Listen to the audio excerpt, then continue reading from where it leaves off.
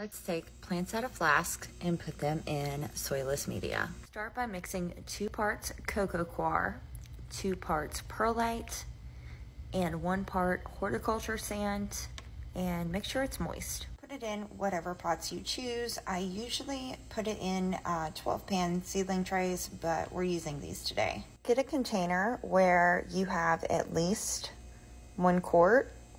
I'm gonna make three quarts of product today. We're gonna add one teaspoon per quart of water, so I'm gonna add three. I've also got iodine. I'm gonna add about 12 drops into three quarts. So it looks like this. It's nice and stirred up. Now we'll move to the plants. I'm gonna remove all the gel and separate the plants. You do wanna pull off the dead pieces, but you don't wanna separate the babies if they don't have any roots.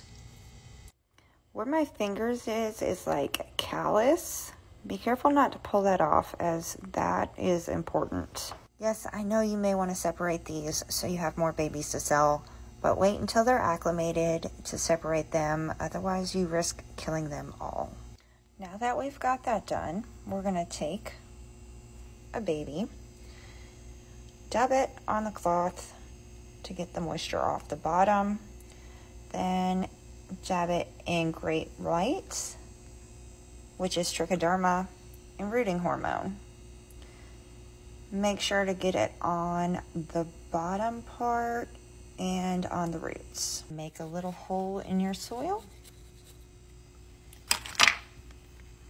And drop the baby in. Make sure to cover all the roots. Don't forget to put the name and date of the plant so you know what it is and how long it needs to acclimate. And we're done.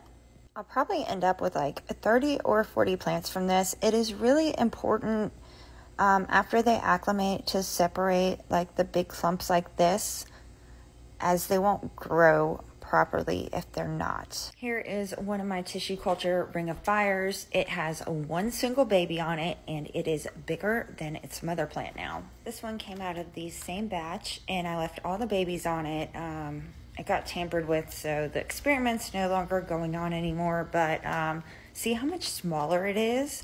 It is like so tiny and it doesn't grow as well.